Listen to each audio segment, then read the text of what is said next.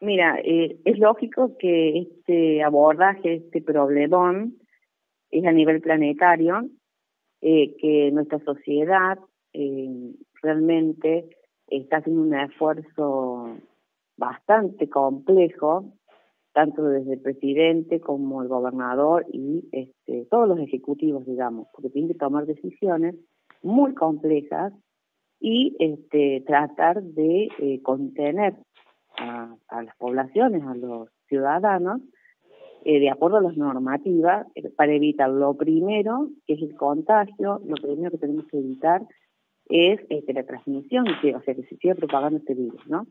Obviamente que has desbordado a toda, a toda la clase política, ¿no? Y sumarle a eso la, la gran crisis económica, que también es, que no es un tema. Soy muy respetuosa de, la independencia de las instituciones.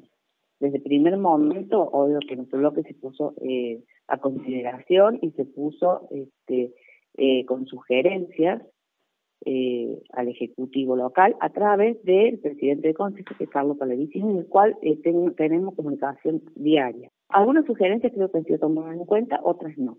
Eh, que eso también por ahí este, es complejo de explicarlo vía telefónica o eh, en este marco, porque ha sido eh, conflictivo para todos. No obstante, se, se, ha trabajado y se ha tratado de abordar estas problemáticas acá en nuestra localidad puntualizando lo social social, ¿no?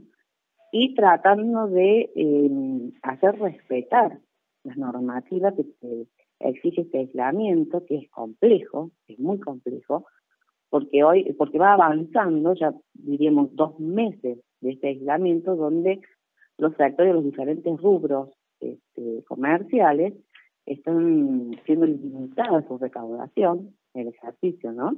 Por lo cual eh, eso hace que toda la cadena de pago, toda la cadena de, digamos, de, recaudación también se vea complicada.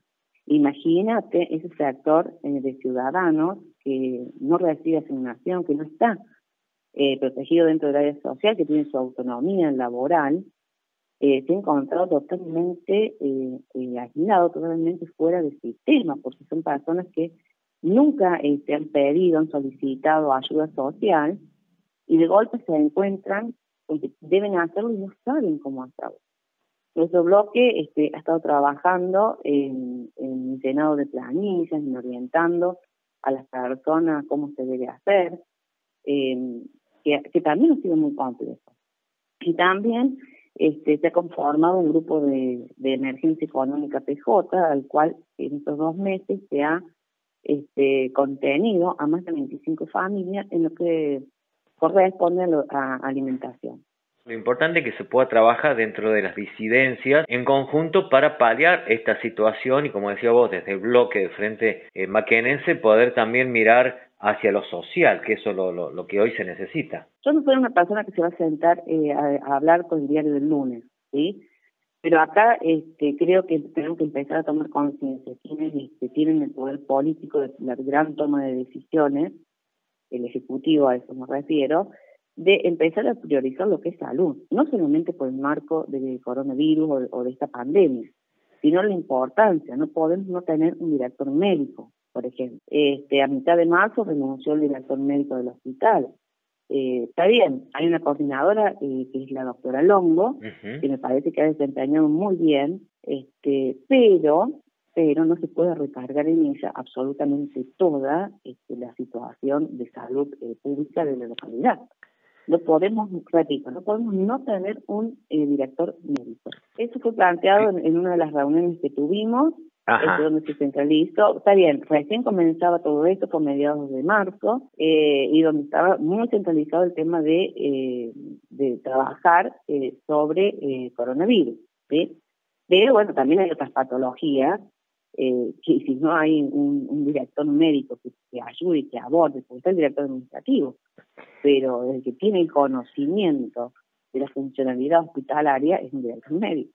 Claro, e, ese tema fue planteado en el seno del Consejo y ¿qué dijo el oficialismo o, qué ha dicho hasta el momento? Recordemos que fue a mitad de marzo, eh, por lo cual este, estaban muy abocados todos y sobre todo eh, el intendente en eh, coordinar todos los esfuerzos, enfocarse en lo que era el COVID-19. Eh, por lo cual es como que recargaba sobre la doctora Longo eh, toda esta responsabilidad de salud.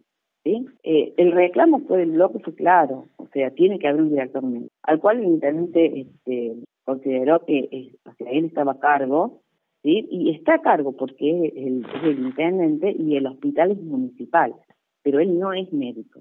Claro. Eso, ese fue mi cuestionamiento es un antes y un después en cuanto a, como decía vos, a, tomar, a, comenzar a mirar otra cosa, ¿no? Que eh, por ahí, no si bien se había tomado en cuenta, pero no con la profundidad, me refiero, ¿no? Me refiero a esto que citaba el tema de la salud y otras cuestiones. Sí, yo creo que esto modifica todo. todo o sea, esto que nos ha pasado a nivel mundial nos modifica absolutamente en nuestra forma de pensar, nuestra forma de, de actuar socialmente también. No se puede gobernar con la solidaridad y la generosidad de la gente. Tiene que haber acciones políticas concretas que estimulen y que puedan contener a ese sector, a esa segunda máquina que yo siempre hablo, este, que está fuera de todo sistema, fuera de toda contención. Y eso se va a hacer desde ese momento, es que haya una apertura de diálogo y que acepten una sugerencia de la oposición, no como una cuestión amigo-enemigo, porque jamás, yo no tengo ese concepto de la política amigo-enemigo, ¿sí? Eh, siempre eh, la realidad la he puesto sobre la mesa del Consejo Deliberante para que podamos tomar decisiones en conjunta.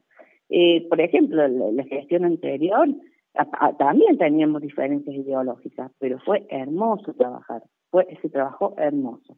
Ojalá que lo podamos lograr ahora también, porque también entendamos que todo el la, gran mayoría del Consejo Liberante son nuevos, son, personas que no tienen la experiencia política. Y enfocarnos, eso que voy a decir, ese cambio, ese cambio de mentalidad, enfocamos un poquito en lo que es importante, realmente importante. Y la salud pública es importante y quedó a la vista. Y permitirme este, felicitar y abrazar con el alma a los médicos, a las enfermeras, eh, que han estado siempre a disposición, siempre, siempre, eh, y que es la única herramienta humana que, que dependemos los ciudadanos cada vez que recurrimos al hospital, ¿no? No solamente en este marco de, este, de pandemia, sino a lo largo. Y qué poco valor se les ha dado, qué poco valor.